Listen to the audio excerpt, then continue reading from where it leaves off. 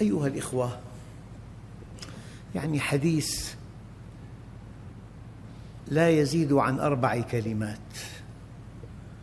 أراه منهجا عظيما لكل مؤمن. الحديث لا يخافن العبد إلا ذنبه. في أقوياء في طغاة في أمراض وبيلة في منحرفون. أنواع المصائب لا تعد ولا تحصى. أنواع مصادر الشر لا تعد ولا تحصى. أنواع المقلقات لا تعد ولا تحصى. النبي ينصحنا ويقول لا تخف من كل هذا. كل هذا بيد الله. خف من ذنبك. الذنب يستدعي كل هذه الشرور. لا يخافن العبد إلا ذنبه. في أقوياء في طغاة في ظلام في بطاشون في وحوش في حشرات لدغتها قاتلة. أنواع الشر لا تعد ولا تحصى. القوى الشريرة لا تعد ولا تحصى. لا تخف إلا ذنبك فقط. وإذا جاءت مشكلة لا ترجون إلا ربك. أقسم لكم بالله تعد هذه الكلمات المعدودة منهج للمؤمن اجعلها في مكان بارز من بيتك. لا يخافن العبد إلا ذنبه ولا يرجون إلا ربه. طبق هذه الحكمة وهذه المقولة وهذا النص واسعد به. لا تخف من أي جهة. خف أن تقع في ذنب يستدعي أن يصل إليك المؤذي. يعني بالضبط أنت أمام وحوش. وحوش مخيفة لا ترحم مفترسة. لكنها مربوطة بأزمة بيد جهة رحيمة حكيمة عادلة. علاقتك ليست مع الوحوش ولكن مع من يملك هذه الوحوش. فإذا أرضيته أبعدها عنك وإذا أخطأت بحق عباده سمح لواحدة منها أن تصل إليك. الوحوش الطغاة عصي بيد الله. عصي بيد الله. فالذي يضرب بعصاه هل يحقد على العصا أم على الضارب؟ إن حقد على العصا فهو أحمق. هؤلاء يتحركون بأمر الله. لذلك ورد في بعض الآثار أنا ملك الملوك ومالك الملوك. قلوب الملوك بيدي فإن العباد أطاعوني حولت قلوب ملوكهم عليهم بالرأفة والرحمة. وإن عصوني حولتها عليهم بالسخطة والنقمة. فلا تشغلوا أنفسكم بسب الملوك وادعوا لهم بالصلاح فإن صلاحهم بصلاحكم. علاقتك مع ربك فقط. والشيء الذي يستدعي المصيبة ذنبك. لا يخافن العبد إلا ذنبه ولا يرجون إلا ربه. عند المشكلة تعلق بالله وحده. أنت الشافي يا رب أنت الناصر أنت المغني أنت المعز. فقط. وقبل المصيبة خف من ذنبك. لا يخافن العبد إلا ذنبه ولا يرجون إلا ربه والله حينما أقرأ هذه الآية إنا وجدناه صابرا نعم العبد إنه أواب أنت حينما تصبر ألا يرى الله أنك صابر؟ ألا يعلم حجم المشكلة التي تعانيها؟ إنا وجدناه صابرا يعني مستحيل وألف ألف ألف مستحيل أن يصل الإنسان إلى الجنة دون أن يمتحن. دون أن يمتحن في السراء وفي الضراء. الإمام الشافعي سئل نسأل الله التمكين أم الابتلاء؟ فقال لن تمكن قبل أن تبتلى. أحسب الناس أن يتركوا أن يقولوا آمنا وهم لا يفتنون؟ يعني من سابع المستحيلات أن يصل المسلم إلى الجنة بالرخاء بالراحة النفسية بالدخل الكبير بالمكانة الاجتماعية. لا بد من امتحانات. أنت حينما توطن نفسك أن الحياة فيها إكرام وفيها تأديب وفيها ابتلاء. ثلاث حالات لا بد من أن يمر بها المؤمن. حينما يقصر أو حينما تزل قدمه يمر بحالة تأديب من الله. وحينما يستقيم يمر بحالة ابتلاء فإذا نجح في امتحان التأديب فتاب إلى الله. وإذا نجح في امتحان الابتلاء فثبت على إيمانه واستقامته. يدخل في حالة مريحة حالة التكريم. فأنت بين التأديب وبين الابتلاء وبين التكريم. وكلما اجتزت المرحلتين الأولى والثانية بسرعة جاءت مرحلة التكريم. أيها الإخوة الكرام سيدنا عمر إذا أصابته مصيبة ماذا يقول؟ يقول الحمد لله ثلاثا. كلام دقيق. الحمد لله إذ لم تكن في ديني. إنسان يعاقر الخمرة إنسان سقط في الزنا. إنسان سقط في السرقة. سقط في الرشوة. سقط في أكل المال الحرام. فإذا كانت المصيبة متعلقة بمال أو بصحة ولم تكن في الدين فهذه نعمة كبرى. الحمد لله إذ لم تكن في ديني. مستقيم. لكن دخله قليل. هذه المصيبة ليست في دينه. مستقيم لكن ابنه مريض. هذه المصيبة ليست في دينه. مستقيم لكنه يعاني ما يعاني من زوجه. هذه المصيبة ليست في الدين. الحمد لله إذ لم تكن في ديني والحمد لله إذ لم تكن أكبر منها. أيام حادث يصيب المركبة فقط. أما الأولاد سالمون. لو أن أحد الأولاد فقد أحد أعضائه الحديد إصلاحه سهل. أما الإبن غالي جدا على أبيه فالحمد لله إذ لم تكن أكبر منها. والحمد لله إذ ألهمت الصبر عليها. والله كلام دقيق. يحتاجه كل مؤمن. الحمد لله إذ لم تكن في ديني والحمد لله إذ لم تكن أكبر منها والحمد لله إذ ألهمت الصبر عليها. الله عز وجل في آية قطعية الدلالة يقول والله يحب الصابرين. أنت حينما تصبر الله يحبك. والله عز وجل يقول وسنجزي الشاكرين. هذا الذي شكر على المصيبة. إذا أحب الله عبده ابتلاه. ما معنى ابتلاه؟ يعني عنده مشكلة قابلة للشفاء. ضمن العناية المشددة. الحمد لله إذ لم تكن في ديني والحمد لله إذ لم تكن أكبر منها والحمد لله إذ ألهمت الصبر عليها شيء دقيق. إذا أحب الله عبده ابتلاه. أب له ولدان. الأول معه التهاب معدة حاد. والأب طبيب. ويعلم أن هذا المرض يشفى شفاء تاما بحمية قاسية. على الحليب فقط. يشدد عليه تشديدا لا يتصور. أبدا حليب فقط. في طعام آخر في البيت يحبه الصغير أبدا لأن مرضه قابل للشفاء. الابن الثاني لا سمح الله ولا قدر معه انتشار ورم خبيث في الأحشاء لو سأل الثاني أباه ماذا آكل؟ يقول له كل ما شئت. ما في أمل. ما في أمل. كل ما شئت. أيهما أفضل أن تخضع لحمية صارمة؟ لكن الشفاء قريب.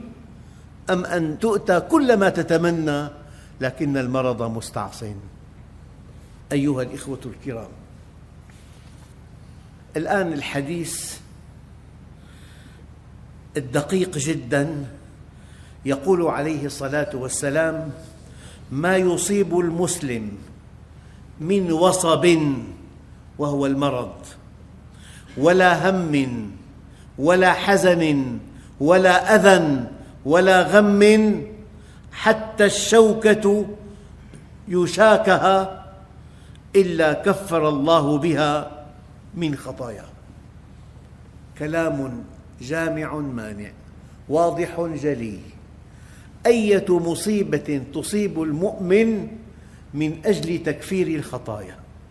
بل ما من عثرة ولا اختلاج عرق. ولا خدش عود إلا بما قدمت أيديكم وما يعفو الله أكثر. لذلك الله عز وجل يقول يا أيها الذين آمنوا اصبروا وصابروا ورابطوا. اصبر وادع أخاك أن يصبر. اصبر وأعن أخاك على الصبر. اصبر وخفف عن أخيك ما يعانيه اصبروا وصابروا ورابطوا واتقوا الله لعلكم تفلحون. بل إن الصبر أحد أركان النجاة. قال تعالى والعصر إن الإنسان لفي خسر إلا الذين آمنوا وعملوا الصالحات وتواصوا بالحق وتواصوا بالصبر. أيها الإخوة الكرام مكان آخر في السرائر هو التوكل. لكن قبل أن أبدأ أكبر خطأ وقع فيه المسلمون أنهم توكلوا بجوارحهم وأعضائهم بينما التوكل محله القلب فقط. في الظاهر تأخذ بالأسباب وكأنها كل شيء. دقق أيها الأخ الكريم. الطريق الكامل طريق عن يمينه واد سحيق وعن يساره واد سحيق. الوادي السحيق الذي عن يمينه ألا تأخذ بالأسباب. أنت لست مؤمنا إن لم تأخذ بالأسباب. ينبغي أن تأخذ بالأسباب وكأنها كل شيء.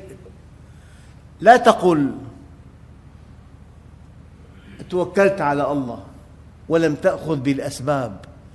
لا تقل وابنك مريض الله هو الشافي. لا تقل قبل أن تسافر الله الحافظ.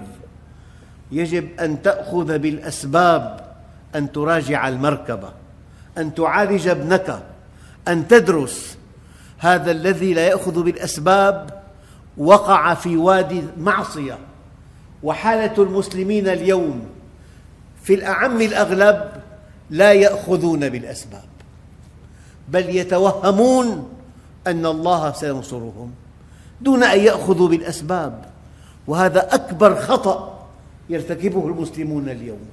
ينتظرون معجزة تنهي أعداءهم. يجب أن نأخذ بالأسباب وكأنها كل شيء. وبعدها نتوكل على الله وكأنها ليست بشيء. هذه بطولة. أن تراجع المركبة مراجعة دقيقة جدا ثم تتوجه من أعماقك وتقول يا رب أنت الحافظ. أنت الحافظ. الذي يحصل الذي يأخذ بالأسباب. وتوحيده ضعيف يعتمد على الأسباب وينسى الله وقع في وادي الشرك والذي لا يأخذ بالأسباب وقع في وادي المعصية. الغرب أخذ بالأسباب وألهها واعتمد عليها ونسي الله والشرق لم يأخذ بها. كلاهما على خطأ كبير. ينبغي أن تأخذ بالأسباب وكأنها كل شيء وأن تتوكل على الله وكأنها ليست بشيء. الابن مريض تأخذه إلى أفضل طبيب تشتري أدق الأدوية تشرف بنفسك على الدواء وبعدها تقول يا رب أنت الشافي لا شفاء إلا شفاؤك. هذا الموقف. بالدراسة بالتجارة بمعالجة المريض بتربية الأولاد. أما عامة المسلمين لا يقدمون لله سبباً بل يتواكلون على الله. من أنتم؟ سيدنا عمر. رأى أناس يتكففون الناس في الحج. قال نحن المتوكلون. قال كذبتم. المتوكل من ألقى حبة في الأرض ثم توكل على الله. إن الله يلوم على العجز. ما العجز؟ ألا تأخذ بالأسباب. ولكن عليكم بالكيس. خذ السبب. متى تقول حسبي الله ونعم الوكيل إذا غلبك أمر؟ أخذت بالأسباب؟ يعني طالب ما درس أبداً فلما رسب قال هكذا ترتيب الله هكذا مشيئة الله. لم يكتب الله لي النجاح. ماذا أفعل؟ هذا كذب بكذب بدجل بدجل. خذ الأسباب ثم توكل على رب الأرباب. خذ الأسباب وكأنها كل شيء ثم توكل على الله وكأنها ليست بشيء. هذا الموقف الكامل. أما لو أن هذا الطالب الذي أخذ بالأسباب أصابه مرض قبل الامتحان بيوم حال بينه وبين أداء الامتحان. هذا إذا قال حسبي الله ونعم الوكيل نقول صدق. أنا أقول دائماً هناك ما يسمى بجزاء التقصير هناك ما يسمى بالقضاء والقدر. واحد الطبيب نصحه بأشياء دقيقة جدا لم يأخذ بها. الله الشافي. فإذا أصابه ما توعد به الطبيب هذا الذي أصابه ليس قضاء وقدرا بل جزاء التقصير. أما حينما تأخذ بالأسباب وعندئذ يأتيك شيء غير مستحب هذا قضاء وقدر. أيها الإخوة يقول عليه الصلاة والسلام لو توكلتم على الله حق توكله لرزقكم كما يرزق الطير. تغدو تتحرك تغدو خماصا وتروح بطانا. الطائر مع أن الله رزقه وتوكل عليه لكنه تحرك طار إلى رزقه. يعني أنا ما بصدق شاب يقول ما في شغل. تحركت تابعت فرص العمل عرضت نفسك على بعض الشركات وسطت أحد الأشخاص ما بيتحرك ولا بيسأل ولا بيخرج من بيته بيقول لك ما في شغل. النموذج هذا نموذج لا يقبل إطلاقاً.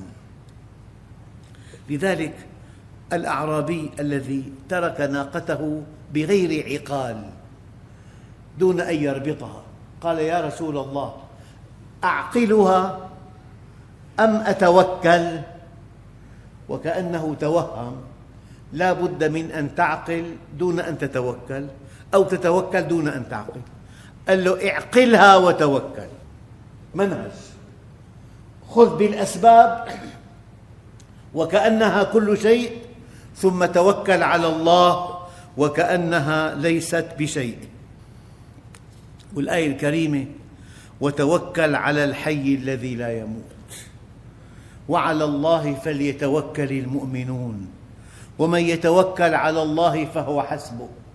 باب كبير من أبواب استقامة السرائر أن تتوكل على الله. بند ثالث في استقامة السرائر القناعة.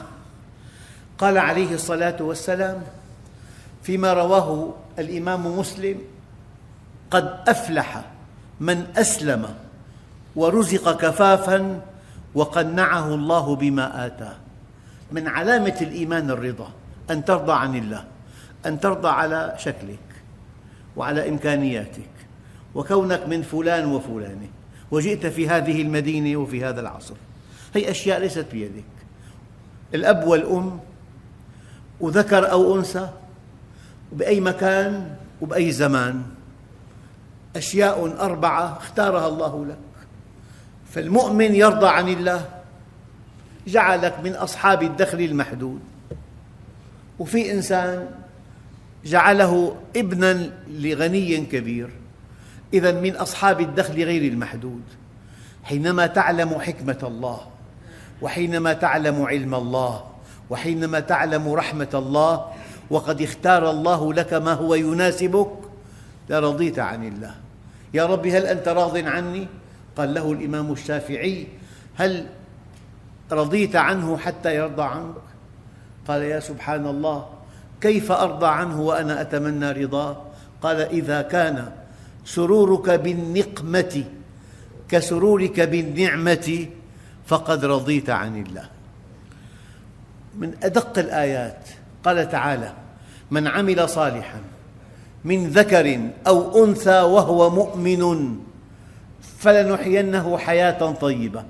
قال بعض علماء التفسير الحياة الطيبة هي الرضا عن الله راضي عن الله من حيث الصحة من حيث الدخل المكانة الاجتماعية وقال بعض العلماء إن الأبرار لفي نعيم بنعيم الرضا عن الله وإن الفجار لفي جحيم في جحيم السخط على الله. السخط على الله جحيم. هذا الذي يرى أن الله ما أعطاه ما ينبغي أن يعطيه. هذا ساخط على الله عز وجل. لذلك قال تعالى ألهاكم التكاثر حتى زرتم المقابر. يسعى الإنسان سعيا مجنونا وراء المال. فإذا حصله تأتيه المنية. الذي جمعه في عمر مديد يخسره في ثانية واحدة ألهاكم التكاثر ماذا بعد الغنى؟ ماذا بعد أن تحتل أعلى منصب؟ ماذا بعد أن تكون أقوى إنسان؟ ثم ماذا؟ بادروا بالأعمال الصالحة فماذا ينتظر أحدكم من الدنيا؟ هل تنتظرون إلا فقراً منسياً أو غنى مطغياً أو مرضاً مفسداً أو هرماً مفندا أو موتاً مجهزاً أو الدجال فشر غائب ينتظر أو الساعة أدهى وأمر هل أمام الإنسان بعد نجاحه الكبير في الحياة إلا الموت؟ من منا يستطيع أن يقول أو من منا يستطيع أن يستيقظ كل يوم كاليوم السابق. إلى ما شاء الله مستحيل. في أحد الأيام في بوابة خروج قد تكون البوابة من قلبه أو من رأسه أو من أعصابه أو بحادث أو بأشياء لا تعد ولا تحصى. فالإنسان حينما يهيئ نفسه لمغادرة الدنيا يكون أسعد الناس. حينما يهيئ نفسه لمغادرة الدنيا لذلك إن الأبرار لفي نعيم. هي القناعة والرضا عن الله وإن الفجار لفي جحيم. هو السخط على الله عز وجل وألهاكم التكاثر حتى زرتم المقابر. كلا سوف تعلمون. ثم كلا سوف تعلمون. كلا لو تعلمون علم اليقين لترون الجحيم. ثم لترونها عين اليقين. ثم لتسألن يومئذ عن النعيم. الفراغ نعيم تحاسب عنه. الأمن نعيم تحاسب عنه. الرزق نعيم تحاسب عنه. أيها الإخوة بند جديد في استقامة السرائر. الزهد ازهد في الدنيا يحبك الله. ازهد في الدنيا يحبك الله. وازهد فيما عند الناس يحبك الناس. أيها الإخوة قال تعالى فلا تغرنكم الحياة الدنيا. إياك أن تراها بحجم كبير هي حجمها صغير لكن متى تعرف حجمها الحقيقي وأنت على فراش الموت؟ تراها لا شيء ترى طاعة الله كل شيء. مر النبي بقبر. والله أيها الإخوة لو استطعنا أن نستوعب هذا الحديث لكنا في جنة. فقال النبي الكريم صاحب هذا القبر إلى ركعتين مما تحقرون من تنفلكم خير له من كل دنياكم. في شركات أرباحها تزيد عن ميزانيات دول. لو أنك تملك كل هذه الشركات وجاء الموت ماذا تأخذ معك؟ قال صاحب هذا القبر إلى ركعتين مما تحقرون من تنفلكم خير له من كل دنياكم ما قولك إذا عرفت هذه الحقيقة وأنت حي ترزق بادرت إلى الصلاة إلى قراءة القرآن إلى العمل الصالح إلى ذكر الله إلى خدمة الخلق ابتغاء مرضات الحق. فلا تغرنكم الحياة الدنيا. كن في الدنيا كأنك غريب أو عابر سبيل. ابن عمر يقول إذا أمسيت فلا تنتظر الصباح وإذا أصبحت فلا تنتظر المساء. وخذ من صحتك لمرضك. أنت الآن صحيح. استغل هذه الصحة وأكثر من العمل الصالح. لكن بخريف العمر ملقى في الفراش. ما في يعمل شيء. خذ من صحتك لمرضك ومن حياتك لموتك. أيها الإخوة يقول سفيان الثوري الزهد في الدنيا ليس بأكل الغليظ من الطعام ولا بلبس العباءة والخشن من الثياب. ولكن الزهد في الدنيا هو قصر الأمل. إذا أمسيت فلا تصبح أصبحت فلا تمسي. أيها الإخوة الكرام الإمام أحمد بن حنبل يقول الزهد على ثلاثة أوجه ترك الحرام وهو زهد العوام. وترك الفضول من الحلال وهو زهد الخواص وترك ما يشغل العبد عن ربه وهو زهد العارفين. زهد العوام ترك الحرام زهد الخواص ترك الفضول من الحلال. زهد العارفين بالله ترك كل ما يشغل عن ذكر الله. الفضيل بن عياض يقول جعل الله الشر كله في بيت وجعل مفتاحه حب الدنيا. وجعل الله الخير كله في بيت وجعل مفتاحه الزهد في الدنيا. وقال الحارث المحاسبي خيار هذه الأمة الذين لا تشغلهم آخرتهم عن دنياهم ولا دنياهم عن آخرتهم. الزهد فيما عند الناس عدم الطمع. القول الرائع ازهد كما قال النبي الكريم فيما عند الناس يحبك الله. واطمع فيما عند الله يحبك الله أيضا. ينبغي أن تزهد فيما عند الناس وأن ترغب فيما عند الله. البند الآخر هو الخوف. قال عليه الصلاة والسلام فيما اتفق عليه الشيخان عرضت علي الجنة والنار فلم أرك اليوم ولو تعلمون ما أعلم لضحكتم قليلا ولبكيتم كثيرا. ربنا لا تزغ قلوبنا بعد إذ هديتنا وهب لنا من لدنك رحمة إنك أنت الوهاب. أخواننا الكرام أحيانا الطبيب يبالغ في غسل الخضروات كلما ازداد علمك ازداد خوفك. وكلما قل علمك قل خوفك. قد تجد شقا في جسر. إذا أنت مالك مهندس يقول يحتاج إلى دهان يمعجن هذا الشق. أما المهندس يقول في خطأ بالأساس قد الأمر يحتاج إلى نصف مليون ليرة إصلاح البناء.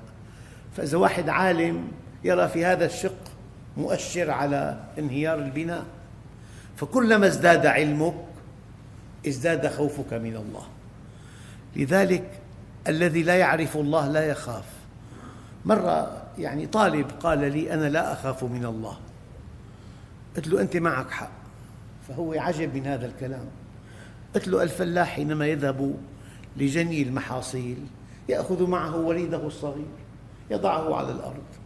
قد يمر ثعبان طوله 12 متر. ما يخاف منه. بالعكس يضع يده عليه. إذا ما في إدراك ما في ما في خوف. علامة خوفك علامة إدراكك الخوف. كلما ازداد خوفك دليل إدراكك عالي جداً.